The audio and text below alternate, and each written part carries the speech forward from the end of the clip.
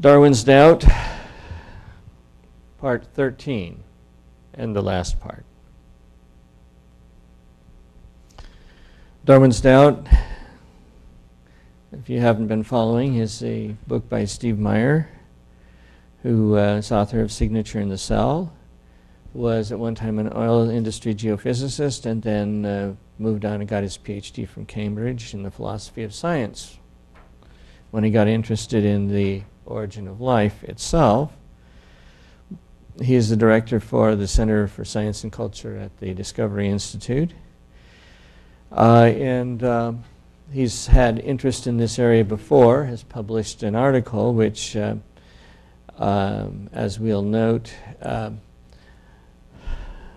got um, railroaded out without uh, anybody answering uh, its particular objections except for one paper which was on the internet and uh, never actually peer reviewed, but interestingly enough gets quoted anyway, which I guess goes to show you that peer review isn't quite all of what it's cracked up to be. Um, uh, Darwin's Doubt, the cover, and the prologue says that the book is divided into three main parts, which it is the mystery of the missing fossils, the Cambrian explosion itself, how to build an animal, the problem of information, and it being critical to the Cambrian explosion. And then part three, after Darwin, what? The story so far, to get us uh, kind of caught up to speed a little bit, the sudden appearance of multiple life forms in the Cambrian was a major unsolved problem for Darwin himself, and the problem has only grown worse with the discovery of the Burgess Shale and the Chengjiang fossils. Um, the numbers are the subscript presentation in the book chapter as a superscript.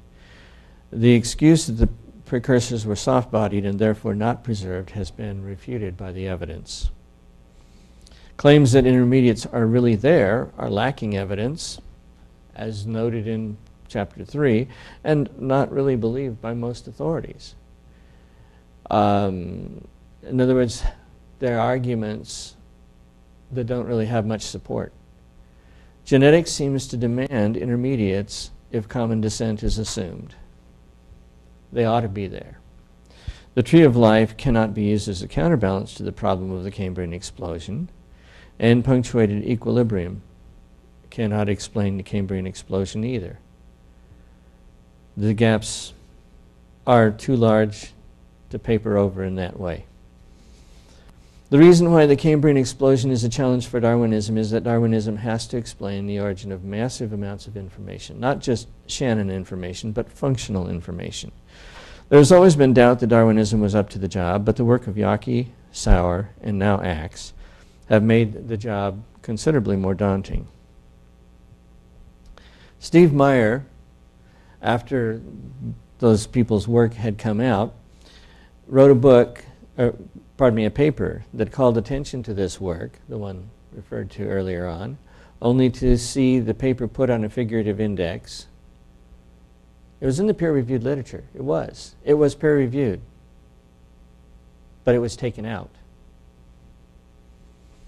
and Richard Sternberg to be effectively excommunicated. The only paper to attempt an answer to Meyer's article was an internet article, and Meyer takes that article apart, showing that the article's main peer-reviewed support doesn't say what the article says it says. This was what is sometimes called a literature bluff. New developments in population genetics have made more clear the magnitude of the barriers to getting even small changes of DNA that are advantageous, especially in multicellular animals. Developmental gene regulatory networks, which are interlocking, can't change significantly without damaging or killing the creature, but they must change if we're going to give rise to a new body plan. So how do you do that without targeting the new developmental gene regulatory network? And epigenetic information also challenges Darwinism. Several modifications of or alternatives to Darwinian theory have been proposed, such as self-organization, evo-devo, neutral evolution, neo-Lamarckianism, and natural genetic engineering. Each of these has weaknesses, and perhaps the most profound common weakness to all of those theories is the inability to explain the origin of specified complexity or information, what was emphasized in part two. Intelligent design explains information well, and using abductive reasoning, standard in historical science, it is the best current explanation for the facts of the Cambrian explosion. It accounts for generating new form rapidly. It should be new forms. Generating a top-down pattern of appearance and constructing complex integrated circuits and the reuse of parts, the same part, in different settings. Intelligent design cannot be excluded from science by definition unless the definition is either ad hoc, that is to say, intelligent design is not science, which is a kind of a, um, or it also excludes neo Darwinism. So you can't just say it's not science and then let it drop from there. Now, we are in part three after Darwin. What? And this is his wrap up. Um, chapter, What's at Stake? In the summer of 2002, I had the opportunity to hike up the Burgess Shale with a group of geologists, geophysicists, and marine biologists. Our group also included my then 11 year old son and a teenage friend of his who was interested in the Cambrian fossils and the debate about Darwinism and design. When we got to the top of the mountain, I was unprepared for the impact the fossils would have on me. I had seen many fossils before, of course, but seeing these fossils, marine animals from the dawn of animal life at the top of a mountain with their beautifully preserved appendages and organs, rendered the ideal of the Cambrian explosion a good deal less theoretical for me than it had been. These complex sea creatures, now brushed by the thin air at an elevation of 7,500 feet in the middle of the Canadian Rockies, had apparently arisen suddenly, almost from nothing, by way of ancestral forms, in the sedimentary record. Everything about them cried out for a story, a big story. It set my mind and imagination racing. And having been there, it is an awesome sight. And there's some really awesome fossils up there, and of course, there are more in museums down below. As wonderful as the fossils were, our trip to see them was made more memorable by two things that happened en route one on the way up the mountain and one on the way down. As we were making our ascent, crossing a large talus slope, a section of the mountain void of vegetation and covered with only fragments of sedimentary rock, I heard my son unexpectedly call out to me from the up at the front of our group, where the young boys always are. Um, his voice had a trembling quality. I looked forward to see him, normally a fearless kid, blessed by energy without bound, standing locked in place, pale and wide-eyed. I stepped around several of the other hikers on the trail to catch up with him. It turned out he was experiencing a kind of vertigo. Though the mountain was not dangerously steep at that point, and we'll show a picture, as he set out across a path that cut through the rocky slope, he had made the mistake of looking down the mountain.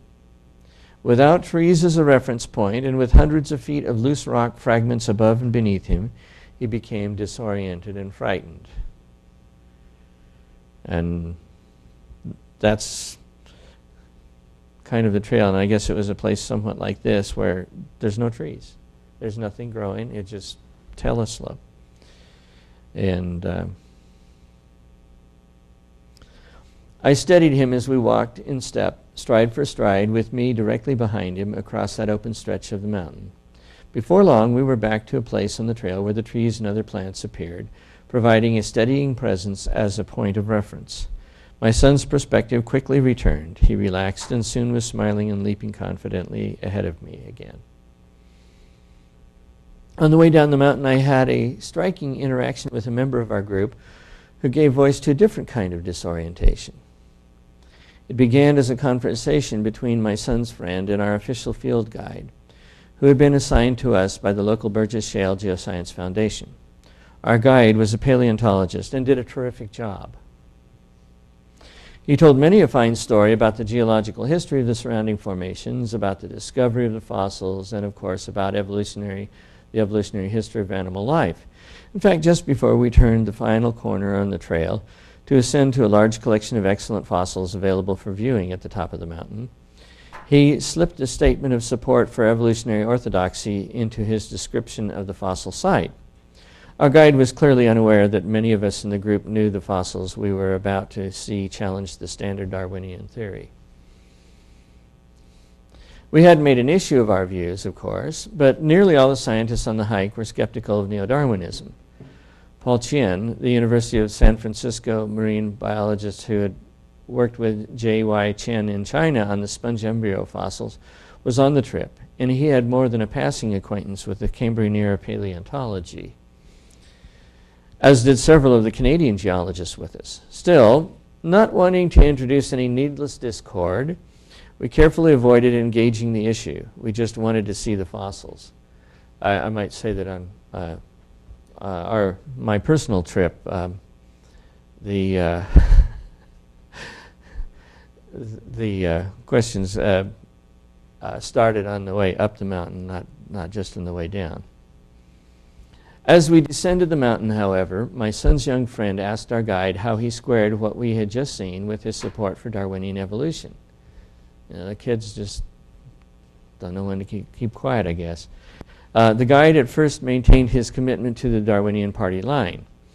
He said he th- thought that Darwin would feel vindicated by the discovery of the Burgess fossils. This proved too much for the precocious intellectual teenager, who loudly blurted out, What? Darwin would feel vindicated by the sudden appearance of all these animals without any ancestors in the fossil record? Are you kidding? You would have to know this endearing young man to understand how his uninhibited outburst only charmed and amused our guide. But fortunately, it did. The rest of us, however, were initially mortified. This was the discussion we were trying to avoid, knowing exactly the intense emotions it often provokes. With scientists, it is generally safer to discuss religion and politics.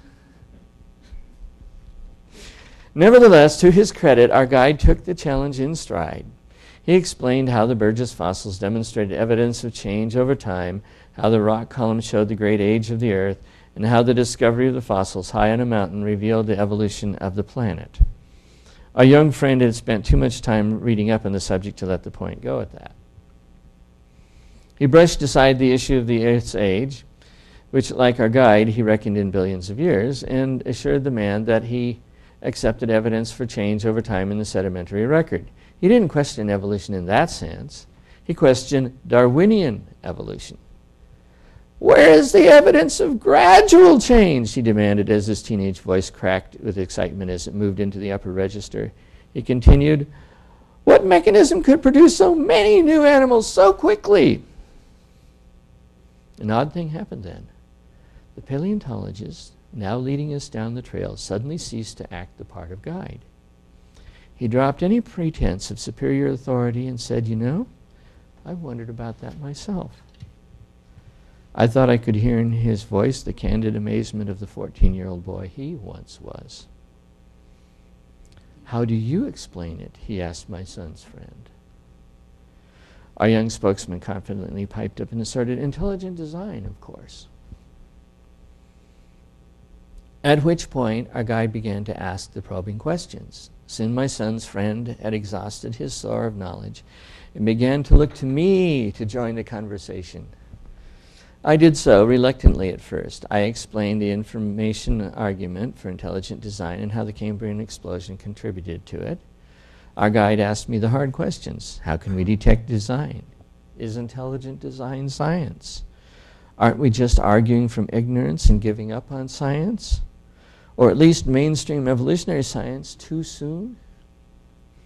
He also wanted to know what I, who I personally thought the designer was. His challenges were tough and honest. A terrific conversation ensued.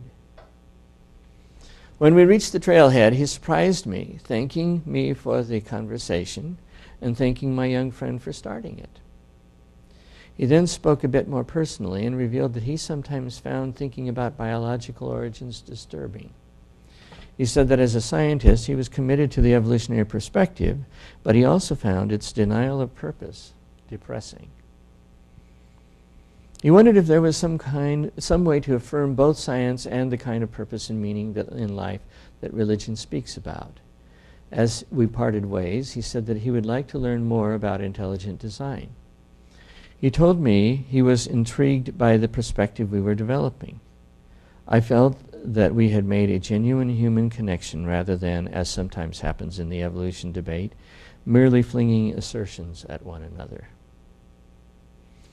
Over the years, as I've researched and thought about biological origins, I've had numerous similar, conversations with people of many persuasions and backgrounds religious and non religious, scientists, engineers, medical doctors, businessmen and women, appliance repairmen, and taxi drivers. These conversations usually start innocently enough as the result of someone asking me what I do for a living. Though I often euphemize my response, I, I work for a research organization. To avoid getting trapped in a heavy conversation on an airplane or over a broken wash, dishwasher, often the conversations come whether I want them or not. People are interested in how life began, and they instinctively understand that whatever theory we adopt has larger philosophical, religious, or worldview implications. People are usually energized by considering these larger implications and questions. Many would like to find a way to harmonize the evidence from science with a view of the world that addresses their deepest existential longings as human beings, their yearnings for purpose and significance. But like our guide, many have been frustrated by the difficulty of arriving at a coherent synthesis. It's not hard to see why. On the one hand, many people of faith have little real interest in what science has to say about life's origins. Indeed, many well meaning religious believers have adopted a view of the relationship between science and faith that rejects the testimony of science as irrelevant or even dangerous and affirms that just reading the Bible will give all the insight needed to understand how life came to be. Their approach does not really attempt to harmonize faith and science, since it takes faith in the Bible, and often a particular interpretation of the Bible, as the only reliable source of information about life's origins. It's hard to do that if you're a science or a science related professional. On the other hand, many scientists and others who think that science has something to teach us about the big questions have started by assuming the neo Darwinian account of biological origins, despite its many scientific difficulties, and despite its denial of any role for, the purposive, intel- for purposive intelligence in the history of life. In particular, two popular ideas about how Darwinism informs worldviews have come to different conclusions about the worldview it affirms or allows. The first view, the new atheism, has been articulated by spokesmen such as Richard Dawkins in his book The God Delusion and the late Christopher Hitchens in God is Not Great. It purports to refute the existence of God as a failed hypothesis. Well, as another New Atheist book puts it. Why? Because, according to Dawkins and others, there is no evidence of design in nature. Indeed, Dawkins' argument for atheism hinges upon his claim that natural selection and random mutation can explain away all appearances of design in nature. And since he asserts the design argument always provided the strongest argument for believing in God's existence, Belief in God, he concludes, is extremely improbable, tantamount to a delusion. For the new atheists, Darwinism makes theistic belief both implausible and unnecessary. As Dawkins has famously put it, Darwin made it possible to be an intellectually fulfilled atheist. But nothing about the new atheism was actually new. Instead, it represents a popularization of a science based philosophy called scientific materialism. As British philosopher and mathematician Bertrand Russell put it early in the 20th century, man is the product of causes which had no provision, no prevision of the end they were achieving. and which predestined him to extinction in the vast death of the solar system.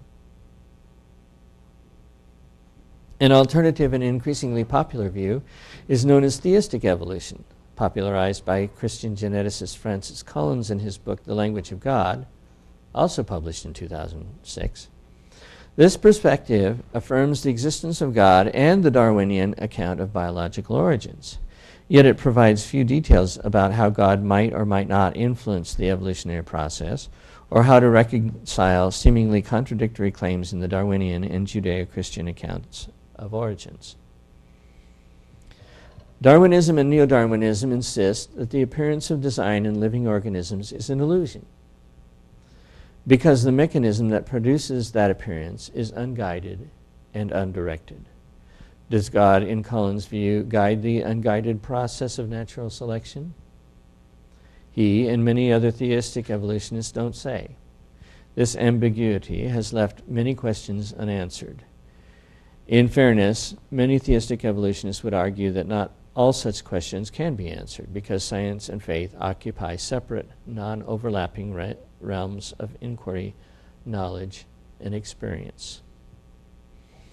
The argument of this book presents a scientific challenge to both of these views. In the first place, the evidence and arguments we have seen show that the scientific premise of the new atheist argument is flawed. The mechanism of mutation and natural selection does not have the created power attributed to it, and thus cannot explain all appearances of design in, in life. The neo Darwinian mechanism does not explain, for example, either the new genetic or epigenetic information necessary to produce fundamentally new animal body plans. This book has presented four separate scientific critiques demonstrating the inadequacy of the neo Darwinian mechanism, the mechanism that Dawkins assumes can produce the appearance of design without intelligent guidance. It is shown that the neo Darwinian mechanism fails to account for the origin of genetic information because, in one, it has no means of efficiently searching combinatorial sequences, sequence space for functional genes and proteins. In other words, it has no prevision. And consequently, two, it requires unrealistic long waiting times to generate even a single gene or protein. It can't do it in the time allowed. It has also been shown that the mechanism cannot produce new body plans because, three, early acting mutations, the only kind capable of generating large scale changes, are also invariably deleterious, unless you get very, very, very lucky. And Four, genetic mutations cannot in any case generate the epigenetic information necessary to build a body plan. That there's more than just the genetic information. Thus, despite the commercial success of the God delusion and its wide cultural currency, the new atheist philosophy lacks credibility because it has based its understanding of the metaphysical implications of modern science on a scientific theory that itself lacks credibility even as even many leading evolutionary biologists now acknowledge. And you notice there's a footnote there listing a few.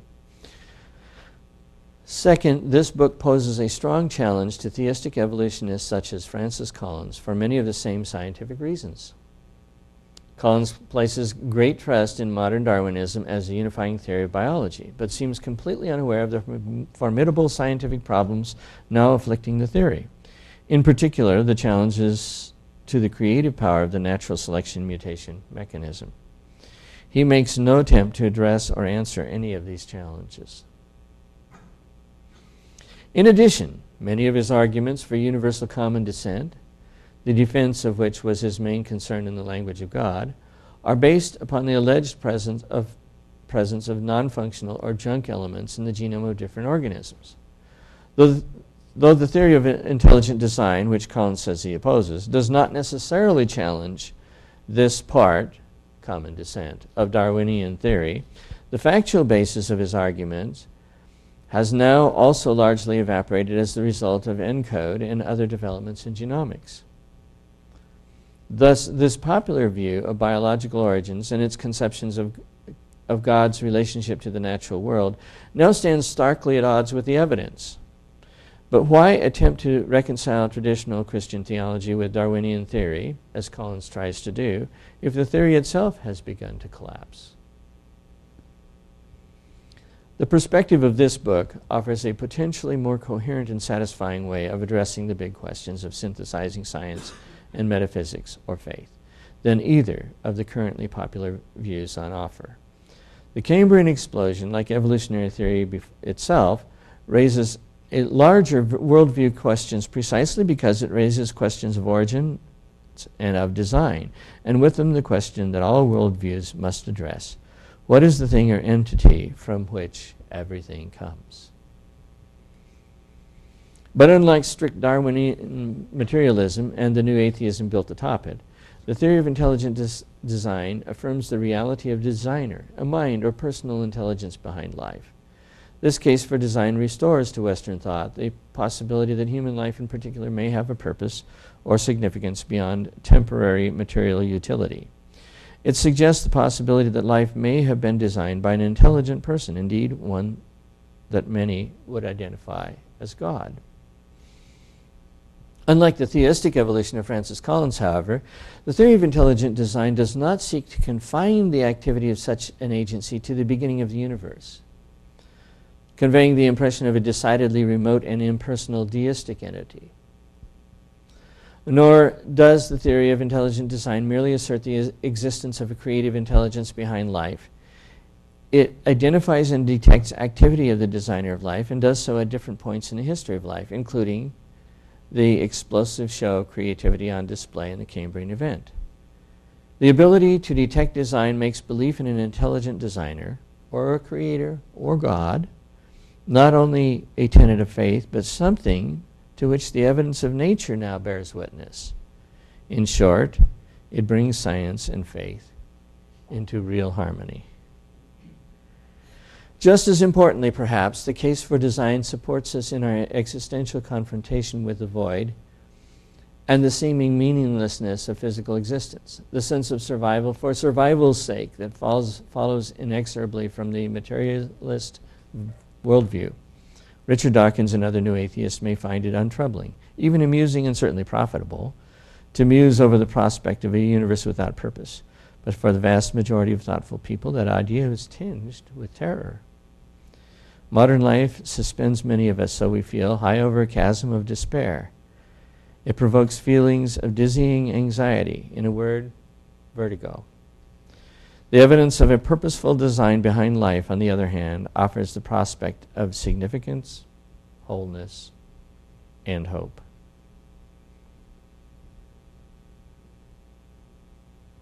If I can get the next slide to show. As my son walked out across the mountain high above the Yoho Valley, he was surrounded by many slabs of rock containing some of the very fossils we had come to see. But as he surveyed that barren portion of landscape, he lost perspective on where he was and what he had come to do. Without landmarks or steadying points of reference, he felt as if he were lost in a sea of sensory impressions. Without his sense of balance, he feared even to take a step. He called out for his father. It occurred to me only much later how closely his experience parallels, parallels our own as human beings trying to make sense of the world around us. To gain a true picture of the world and our place in it, we need facts, empirical data. But we also need perspective, something sometimes called wisdom, the reference points that a coherent view of the world provides. Historically, that wisdom was provided for many men and women by the traditions of Western monotheism, by our belief in God. The theory of intelligent design generates both excitement and loathing because, in addition to providing a compelling explanation of the scientific facts, it holds out the promise of help in integrating two things of supreme importance science and faith that have long been seen at odds. The theory of intelligent design is not based upon religious belief, nor does it pr provide a proof for the existence of God. But it does have faith affirming implications precisely because it suggests the design we observe in the natural world is real, just as a traditional theistic view of the world would lead us to expect. Of course, that by itself is not a reason to accept the theory. But having accepted it for other reasons, it may be a reason to find it important. My take mirrors that last two sentences. This chapter is not a logical reason to accept intelligent design or any of its implications. On the other hand, it is a reason to pay close attention to the valid arguments for and against ID. We will extend those arguments further next week. But that's my opinion. Now it's your turn.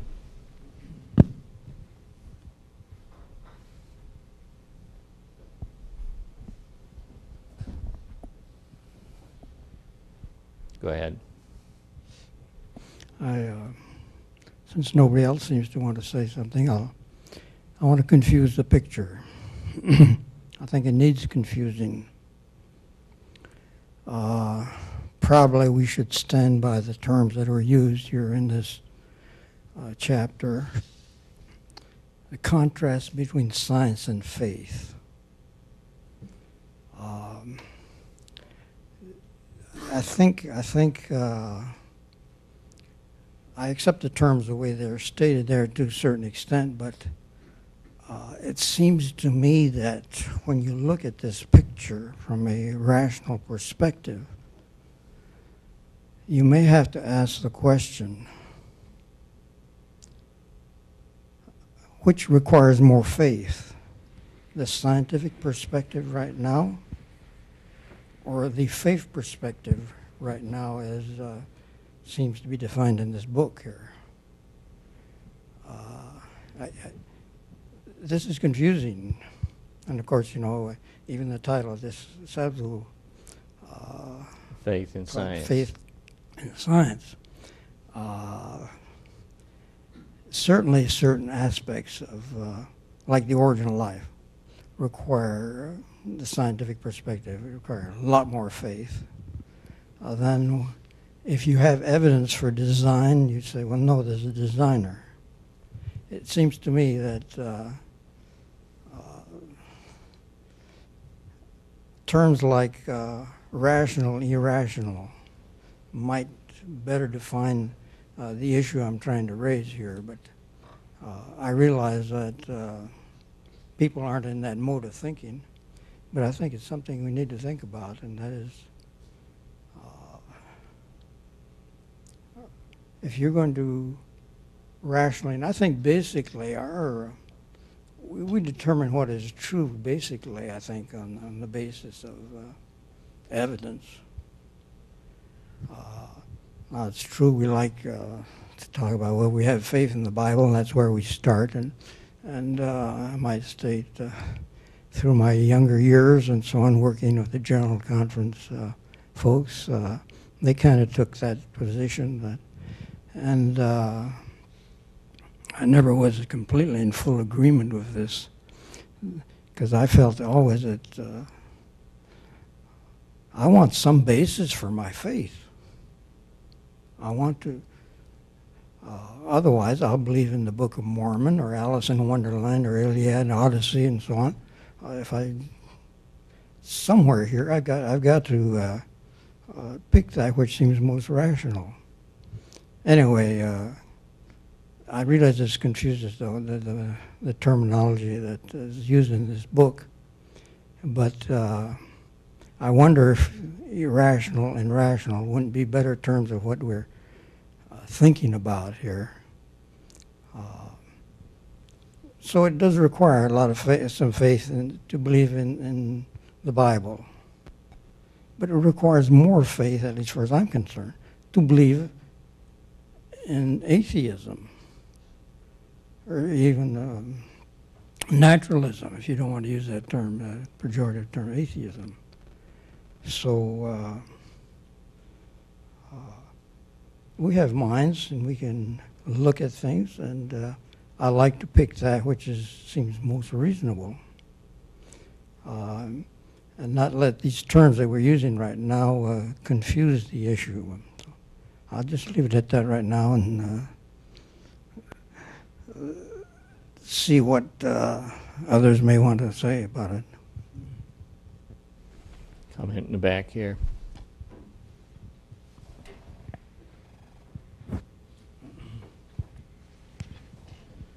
book of Romans, of course, suggests that there is ample evidence for us to see. I wonder what the people of that time saw, because me, looking today, yeah, I accept nature as it is, but I, it doesn't tell me a whole lot. I have to make inferences. And while I love sweet little bunnies, uh, animals that kill and eat are a bit of a shock to explaining anything. I also wonder about the delay, the time that it's taken for us to find God. And I'm wondering if all of this genetics and epigenetics and the discoveries of science will come to the place where they will persuade us that there was, in fact, an intelligent designer uh, that had to be involved. On the other hand, I look at the world today and its horror and I have to question why God's waiting. For what? Is it because we do not have enough uh, genetic intelligence to, to find God? Uh, In which case, if you wait longer, are we going to get any better? Yeah. Wouldn't it be easy for him to do something supernatural that would persuade us? Why must we wait for something more explicit in the world today. Does anybody have uh, Romans 1? And we can read maybe what. Um,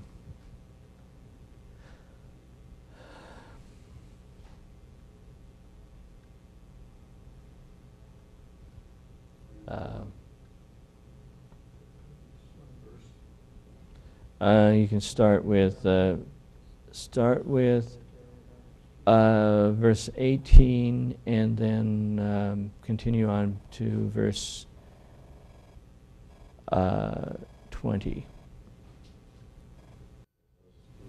For the wrath of God is revealed from heaven against all ungodliness and unrighteousness of men who hold the truth in unrighteousness, because that which may be known of God is manifest in them for God hath showed it unto them. For the invisible things of him from the creation of the world are clearly seen, being understood by the things that are made, even as eternal power and Godhead, so that they are without excuse.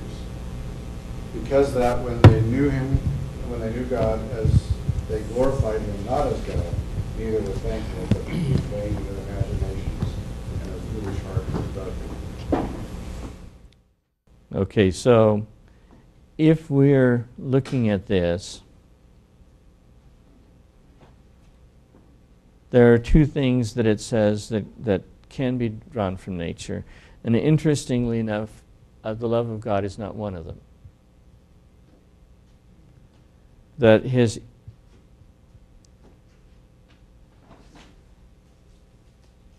his eternal power and Godhead are the two things that can be drawn from nature.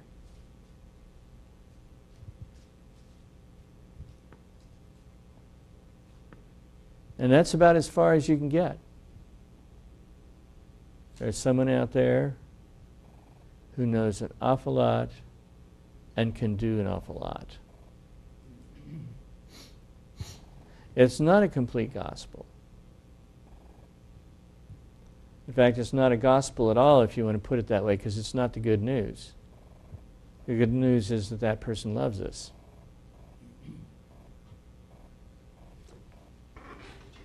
A um, couple of comments, uh, Mickey, and uh, and then uh, Nick.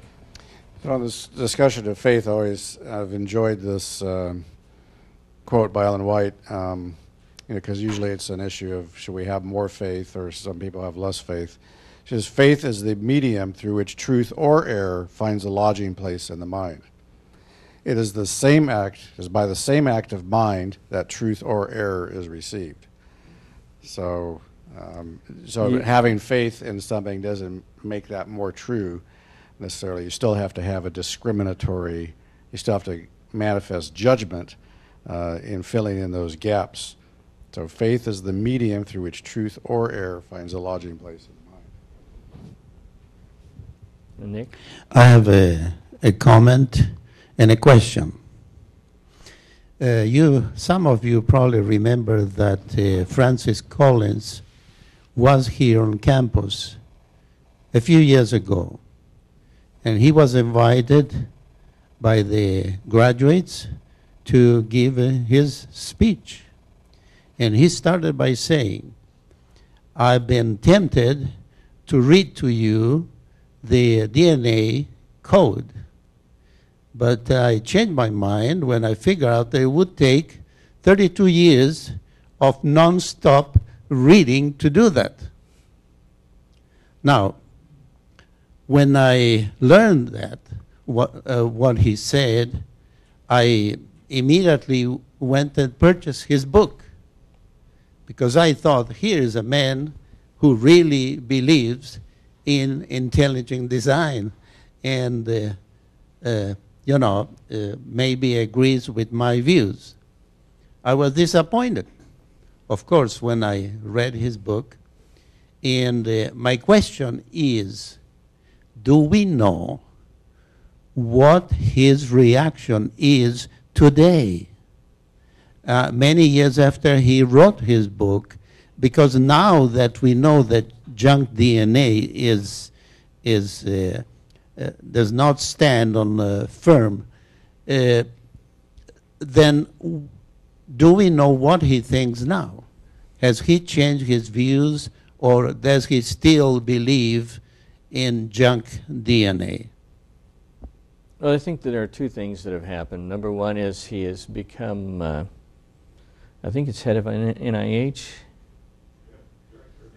Um, and so um he has become much more muted about what he wants to say about anything because he's now a political figure. And political figures don't have the same freedom to say things as people who are uh, renowned scientists but don't have a public position they have to, uh, uh, I would say, defend almost. Um, the second thing is that his comments about junk DNA have gotten much quieter. Now, does that mean he's changed his mind, or does that mean that the politics have intervened, or does that mean that he's seriously thinking about it but doesn't know which way he wants to go? I don't know. I do know that I, I was amazed to listen to him on the radio and to note that he argued for, very clearly, that God started the universe. And I think he does that in his book as well. And he also argued that God put the moral sense into our heart. Those are testable propositions. And those also, as far as we know, require intelligent design. Designing the universe has got to be one of the most, if not the most, intelligent uh, thing, uh, job one would ever have to, to, to do, and certainly would also require a great deal of power to make things work the way they're supposed to. Um, on the other hand, uh, putting a moral sense in us has to be second or third or something very close to that because we have no clue as to how to put moral sense into each other or ourselves. And as a matter of fact, uh, the failure to put moral sense into people is, is uh, rather evident at times. Um, we have no clue as to how to rewire the brain to make that work. Or is it even rewiring the brain? Is there a mind that's kind of separate from the brain that uses the brain as a kind of a, a receptor in order to make contact with the rest of the world? We don't know. Um, it almost makes you wonder when you realize that every single thing you have ever seen and understood is remembered somewhere upstairs. And if you try to do that in a physical way, I'm not sure we have the capacity to do that. Maybe Google knows how to do that. Google doesn't know either. Believe me, if we knew how, we'd have uh, intelligent, uh, we'd have artificial intelligence. And we don't. Can I add uh, another anecdote?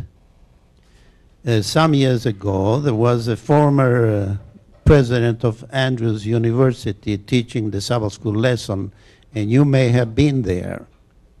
And he talked about the problem, uh, you know, in Genesis, uh, the, the fact that the two stories we have there don't exactly relate the events in the same way.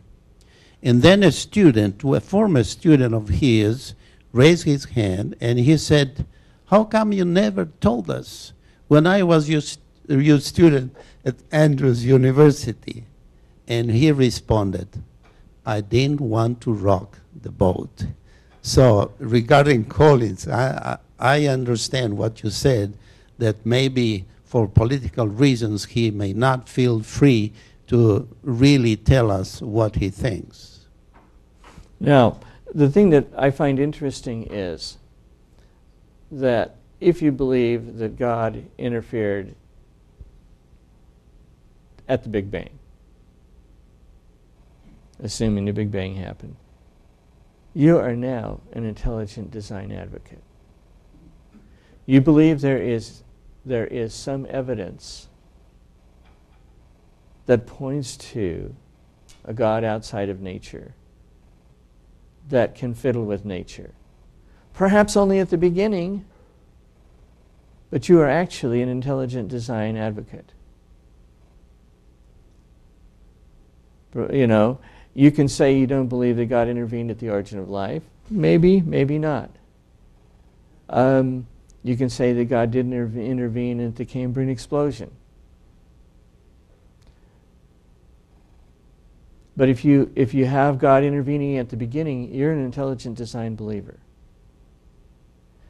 And if you believe that God intervened to put a moral sense into people, however far back that was and however many people it involved, you are also an intelligent design believer. Because the whole point of the exercise of what some people will call science. I don't like to call it science because I think that it gives up the word to, uh, to a particular party unfairly. But there are people who say that the job of science is to explain the natural world without reference to anything outside of itself. That's the job of the natural world. And you have just denied that that job works in two different places. You are now an intelligent design believer. And guess what? Francis Collins caught heat for those positions from the atheists who did not want him to head the NIH because he might bias science somehow.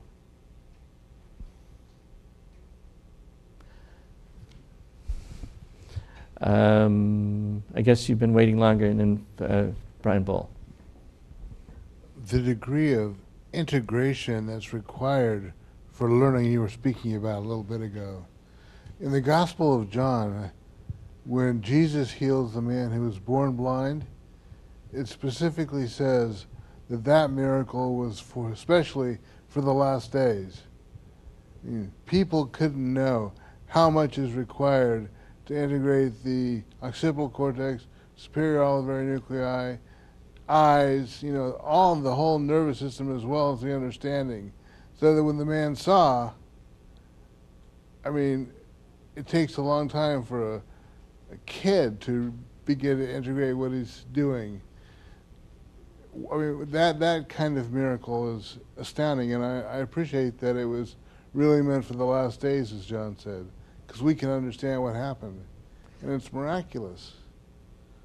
Um, And what's even more interesting is that, that the rewiring was done, one, in terms of time, very rapidly, and two, without destroying the man's sense of his own personality. He had the perfect out when people were, well, isn't that the guy that was at the gate? Uh, yeah, that's him, all right. Nah, but he sure looks like him. And he could have said, you know, I remember the guy but kind of vaguely. It's not you- really me. are you talking about the one that, Peter and Paul? I mean, Paul and J- No, I'm talking about the man the born man blind. born blind. Okay, But uh, you read the read the account in John nine, and it'll tell you yeah. that, Is- that there, were, there was some in? Yeah. debate as to whether you know that can't be the right guy. Yeah, But they, but he sure looks like him. and they even asked his parents, "Is this your son?" Yes. Was he born blind? Ask him. He's of age.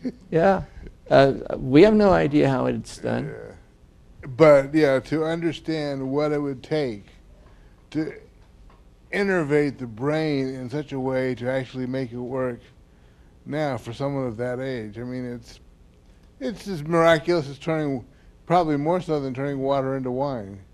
Yeah. I mean, you can see that a little easier, but the same principle. I mean, Well, the, the, the, I think the point is that if you believe that God put a moral sense into us, and I think that you could argue that at the new birth he puts it back again after it's been destroyed or distorted, uh, that that miracle is as much of a miracle as having the man born blind realize that that was him when he was born blind. you got to wonder if when we are transformed in the moment in the twinkling of an eye if that knowledge of good and evil is somehow displaced. That I don't know. because I came from the tree and we aren't going to be dealing with the tree again after. Our memories will be there but i mean that may be why there will, sin will never rise again. That bent that was given from that first you know situation i don't know it's, Well, when God converts people, they still remember the old life. well that i understand right but remembering the old life and being bent by the knowledge of good and evil are two different things Yeah. Go ahead. It seems to me we have, um, It's on. it's on, that um, we have um, taken uh, Meyer's definitions and we're running with them, and I'm not sure that we should have bought into them quite that easily. He has distinguished between what he refers to as intelligent design and the uh, approach of um, Francis Collins by labeling Flan- Francis Collins as a deist. I, I, I, I would. well, I agree with you. I think that uh, that he's not really. I don't think a he's a deist. deist, and I would submit that any Christian who accepts the existence of God and therefore would be a theist, and um, sees uh, that God as acting in the, by way of miracle in the world, even if only occasionally, and even if only uh, unprovably in the scientific sense. Is probably the way you've enlarged it is probably a believer in intelligent design. So I think he's only got one category there. He's got theists and Darwinian evolutionists. And there I can see a, a distinction, but I think he's been unkind to Francis Collins. Because I'm pretty sure Francis would not consider himself a deist. Uh, in fact, um, most of these people don't consider themselves deists. What I think is probably fair to say is that, in one sense, they're practical deists, in that none of the interventions that God makes. I mean, uh, for example, Kenneth Miller suggests that maybe God works in terms of quantum uncertainty, making, you know, in other words, he loads the dice a little bit, so to speak, so that a tiny mutation is actually planned. rather than being. That makes them an intelligent design advocate. Well, the interesting thing of it is, of course, is that Kenneth Miller would loudly tell you, and Francis Collins at one time would loudly tell you, I don't know what he'd say now, that he is not an intelligent design person. Well, may I suggest then that the, the problem is the fact that intelligent design, by definition, is a very slippery concept. It goes all the way from people uh, who view intelligent design as God creating the universe and making it, um, making it favorable towards life, uh, down to those people who would look for the evidence of God in the formation of the motor that drives the bacterial flagellum. And somewhere in between there, I think all Christians would find a convenient stopping place. But I'm not quite sure that, that it, this helps us in our, in our present situation because we're all, by, by that sort of definition, we all believe in intelligent design. If we're Christians and if we accept miracle. I, I think so. I think that, uh, for example, the resurrection, if you believe in a bodily resurrection, you're stuck with intelligent design. So, where are we as Adventists in terms of having made progress? I, I note again, as I um, saw once before when I um, came by here, that that they both believed that the Earth is extremely old, and none of them except flood geology. And I'm still puzzled as to this this uh, as to where we've arrived at. Can you help me out here? I think that the one thing that we have done is we have made it comfortable for somebody to believe that there is a God out there who can actually intervene because there's pretty good evidence that he does, in fact, intervene and has. And I think that we have made it very uncomfortable to be an atheist because you have these huge holes precisely where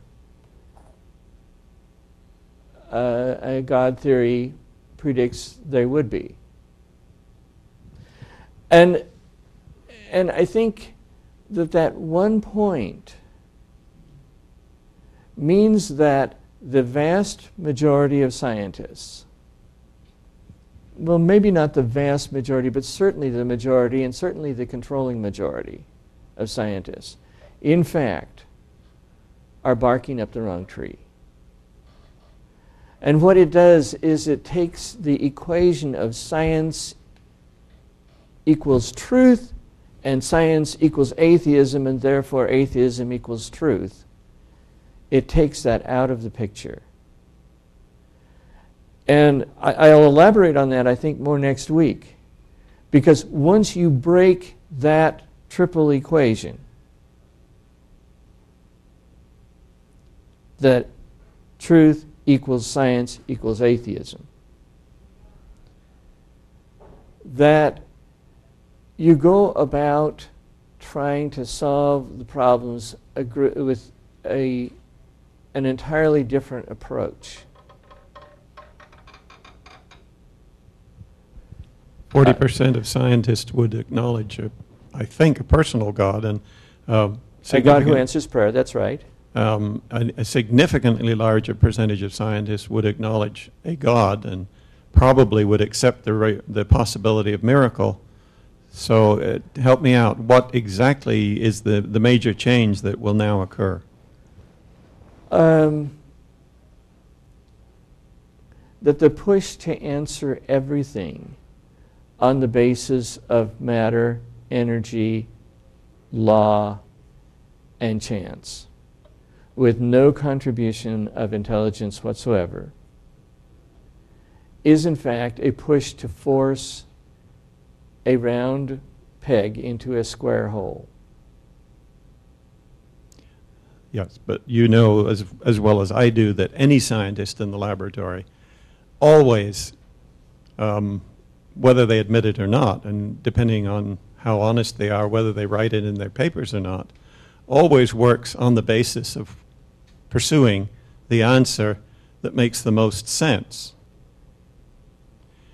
Now, I know we're not supposed to do that, but I, um, having spent my life in the laboratory, I know that both I and all other scientists do. Since the majority of scientists are religious in, in, in some sense, I'm still puzzled as to 40% would say that they believe in a God that answers prayer, and a, a lot, a larger number, Einstein, for instance, would accept a force active in the universe that and when we design our experiments, we always look for the kinds of things that we as designers would have done in order to answer or in order to, to understand this, this particular physiological phenomenon. What, it, what way will this make sense in the, in, in the future of this creature? And then we go looking for that. We don't randomly just sort of. Um, so we're all design advocates in that sense. You mean things like uh, you, you see a protein in a cell and you say, what does it do? Instead of saying, does it do anything? Well, you, you say the cell needs certain things done. This isn't the right place to do them. Maybe it is the protein that does it. Yeah.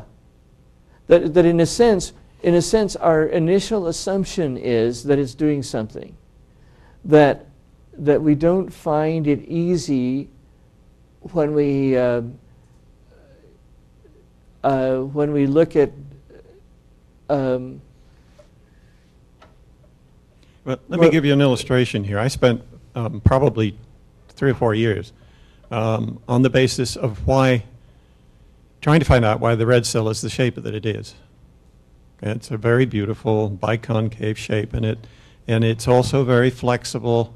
And I had seen a film when I was perhaps 12 years old from the Moody Bible Institute saying that it was this shape because it was the optimal shape for gas exchange. It allowed CO2 and oxygen to go in and come out and be carried around the body. most surface area, whatever. Yeah, but even as a 12-year-old, I knew that couldn't be true. Because the most optimal shape for gas exchange would be a very thin pancake. Much Rather than the biconcave. Yeah, yeah. So when I got to the point where I could do experiments along these lines, that's what I set out to find out. Well, it turns out that it is the most optimal shape for gas exchange, but for a very surprising and unusual reason, which I'd need to give a one hour lecture to explain exactly how it works. But um, what was driving me there is intelligent design. This cell looks like it's serving a, a purpose, and it turns out it is.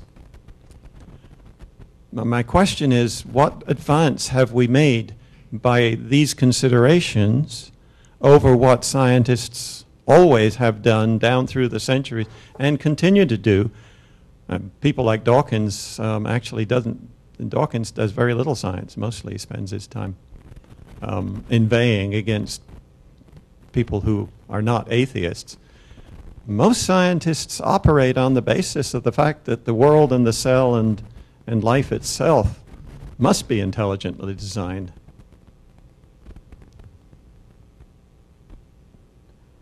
I think that what happens uh, right now, even though they are in the, depending on how you define it, minority or certainly a slim majority, and this may explain why they are so terrified that they're going to lose their power, is because they realize that it rests upon a very thin foundation. And they see intelligent design people as part of creationists, as part of the right wing, as part of, you know, and we're Christian, all re- Christian Reconstructionists, and we're ready to take over the world and legislate Sunday. Well, maybe we'd legislate at Sabbath, but, you know, they're they're afraid uh, that they're going to lose some power that they have right now. Uh, if you if you just read what they have to say about creationists, intelligent design people, they'll say that up front. At least some of the more influential of them will. Um, you read Barbara Forrest and Paul Gross, and you find out that a lot of the, you know, the people who are running around on the internet trying to persuade everybody that, that evolution is true, and descending upon places like Ball State and trying to cancel intelligent design uh, uh, classes, uh, doing the same thing at Amarillo College. Um, they, if you ask them, they will say Barbara Forrest has it right. This is a huge conspiracy. And, and right now, those people have the ear of most of the media.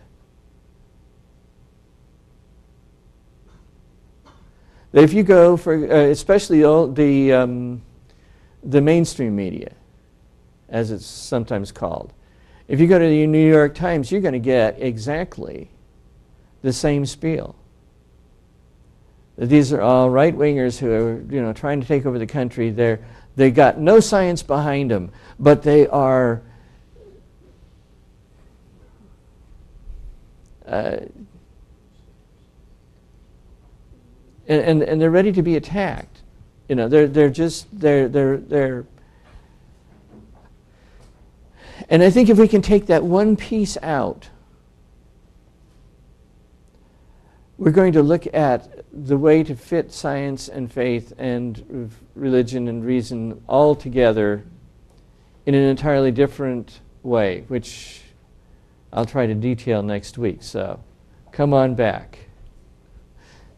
Yeah, I was wondering what, what would happen if scientists that are doing research were, if their study, if the constraint of the methodological naturalism were, were removed, what would happen in science?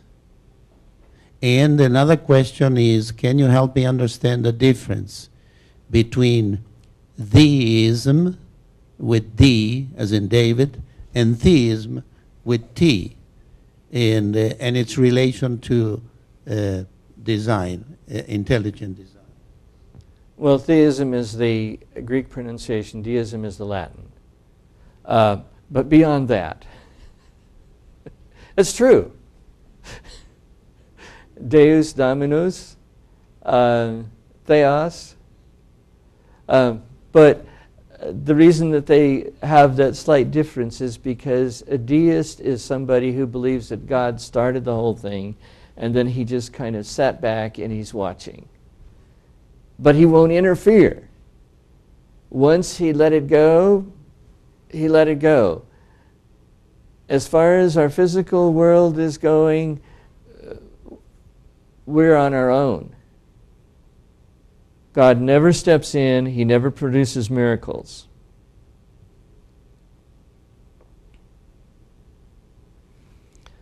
Um,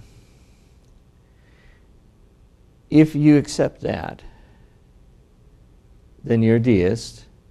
And the practical implications are that, yes, if you go back far enough, you can get origins and God and evidence for God. But as far as once the ball got rolling, forget about it. And that means as well in our personal lives, and that means in history. A thoroughgoing deist cannot believe in the miracles of Jesus, for example. Or if he does believe, he'll believe in a kind of a half baked thing where perhaps in the sermon on the, or perhaps at the feeding of the 5,000, what happened was one little boy volunteered his lunch, and everybody said, Oh, you know what? The lunch that I've been hiding because who knows when it's going to be required, and maybe somebody else will take it from me. I should take it out and share it too. And so everybody, you know, and there was really plenty of food there. It was just that people were not not using it. You see, the idea that God could actually multiply bread and fish in one particular setting, taking one boy's lunch and then feeding a whole multitude and having more left over than the boy had at the beginning. That just can't happen.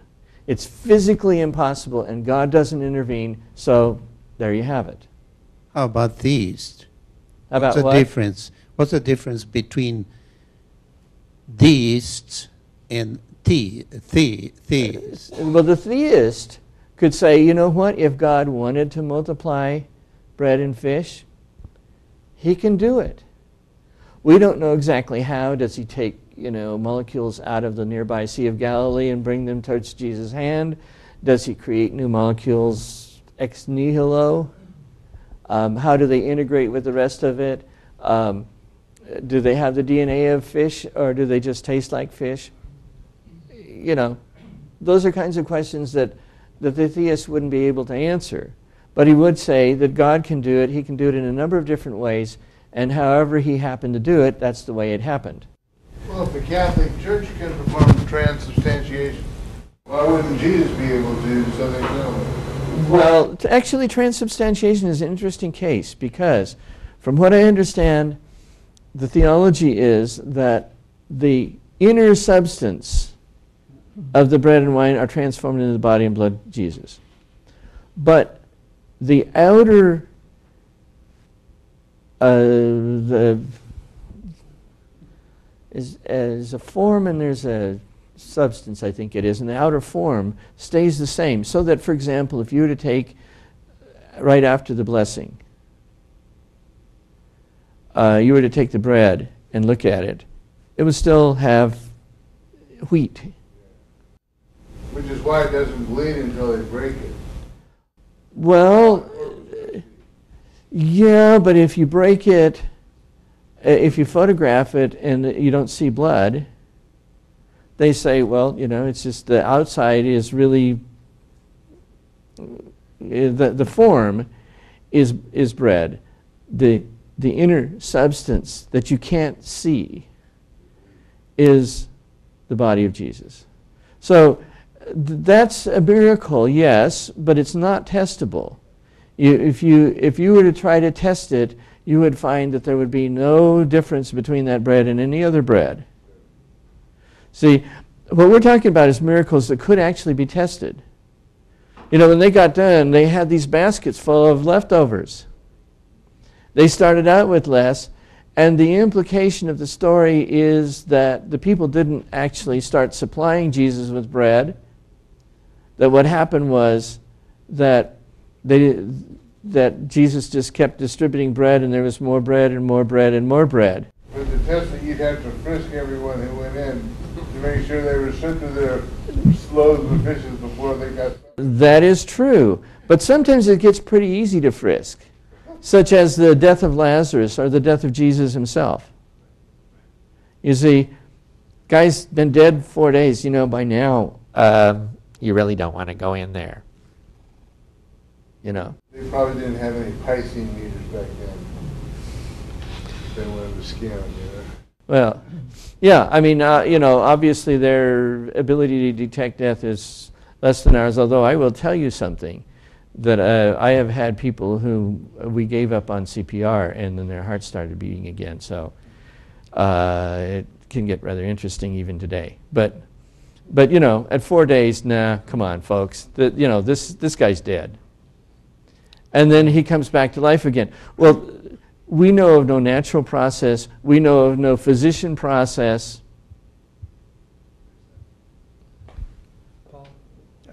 So Con- if, con- if, con- if you're going to be a, if you're going to be a, just to finish up, if you're going to be a, um, a deist, you have to say Lazarus wasn't really raised. Or else you have to say, well, they didn't really get close enough to smell because they didn't want to get, but he was actually resting in the tomb. Well, if you don't need that, Um, Yeah, well, that's the point. it's really upset them. both deism and theism, of course, mean believe in God. Uh, I think there is usage kind of defines uh, definition of terms. That's why it's, uh, Right. uh, things get confused uh, very often because definition because usage changes. Uh, I think there's a slight difference between the two uh, in terms of general usage. Theist is a broad term for believing in God. Deism there's been at least uh, a tendency to make it refer to a God that was active in the beginning but is not active now. Right. And so it's. Uh, uh, The very there's, few- a, there's a temporal f- there's a temporal uh, picture in the deism Right. that I don't see in theism. So when God was dead, he was a deist to begin with, back in the sixties. Um, well, those people looked at the concept of God as being dead. They didn't really even believe that there was ever a God. Um, there are, I I mean, if you were to pin them down, that's what most of them would actually come out and say. Now, there probably are a few people that say, well, God was active back then, but he's no longer active now, and so forget about it. But uh, that's one of the reasons why you want to be really careful about assuming people are what you think they are, because uh, somebody who says he's a, he doesn't believe in God, he doesn't believe in intelligent design, but but God put this moral sense into us. Well, I'm, I'm sorry. That's a miracle. That's a uh, at least partially testable miracle. They really believed that it was. I don't think it was acquired through social construct. Um, well, let's put it this way. Francis Collins used that argument as a proof for God's existence. And you can't use it as a proof for God's existence unless you are saying that on an atheist model it shouldn't be there, and on our model, God put it there. Now, how God put it there, you can debate. Which is why when the atheists argue about one of the greatest lessons we've ever learned was, you know, that of the uh, do unto others as you would have them do unto. The good, the goods of the golden rule. You know, they claim is something that was learned by sociology, kind of. Yes, and it depends on the atheist that you talk to whether that really is a good rule or not. You know, there are kind of Ayn Randian atheists who think that if, as long as we all follow our own selfish desires, uh, with, of course, uh, what would you call it? Enlightened self interest, I think is the way they'd put it. That if that happens, that everything will balance out in the end. Too many of those are doing it before it's done to them Yeah, in a protective manner. yeah, yeah. Evolutionary, I guess. Yeah. Uh, not surprisingly, as far as I know, Ayn Rand was uh, an atheist. Of course. Uh, comment here. Oh, okay. And then maybe we'll wrap it up with your Good. comment. Two things in book of john really stand out. One of those is uh, this crazy story goes all over jerusalem says jesus is risen again jesus is risen again. Doubting thomas says i don't believe unless i see. You see a gentleman at the back made a comment there needs to be a miracle today for the world to see and for everyone to believe. I wish he was here to ask what kind of a miracle would convince us Christians to believe that yes, our faith is okay. It's okay to be scientists and physicians and whatnot and still be Christians. What kind of miracle would we ask for from the Lord? You see, then it comes to Mary Magdalene, the prostitute in the upper chamber. She's watch, washing his feet. He says, Leave her alone. Wherever this gospel is preached, this story is going to be told. So beautiful. You see, uh, we. Ble- Blessed are the ones who believe without seeing. For a scientist who does not believe in a creator, I believe it's all about himself. It's all about himself. The ones who believe in the creator, they, the glory goes to him. You went to Romans chapter 1. Um, says, the translation in New um, King James, it says, they suppress the truth Mm-hmm. They suppress the truth. Then they will go to verse 22. Professing to be wise, they become fools and challenge the glory of the incorruptible God. That is to say, it's really out there. And you have to kind of close your eyes to it in order to, in order to not see it. Now, of course, that's not what you will get from the new atheists. Maybe the new atheists are wrong.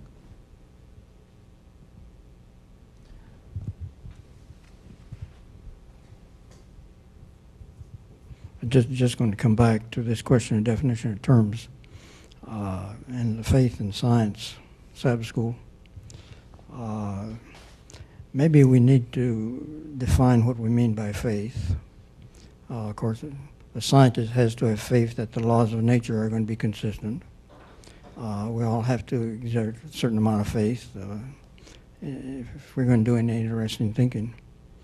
Uh, but uh, maybe there there's different kinds of faith. The, the way uh, Meyer's using faith here, I think it's more along the well belief in the Bible, belief in creation, uh, and that that's one definition. Another one would be extension of uh, rationality.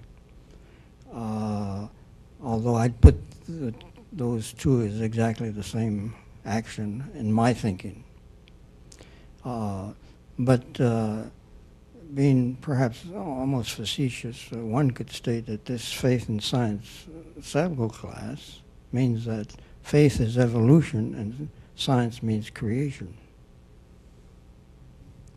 Um, That's actually a defensible position, especially given signature in the cell and Darwin's doubt.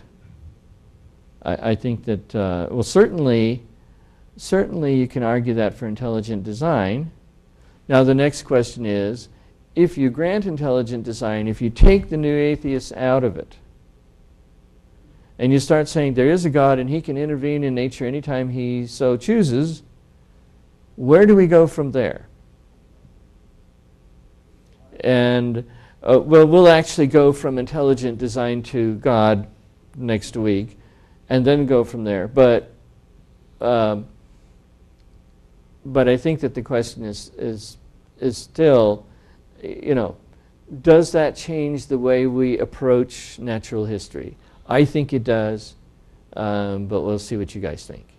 Does it get more excited when you add judgment to your list of things coming? It probably gets more exciting, it gets more interesting, but I'm not sure that it changes the fundamental arguments. I think it gets more meaningful with judgment there. It, it does, it does. Scary too, though, for people who don't understand it the way you do. Yeah, anyway, see you all next week.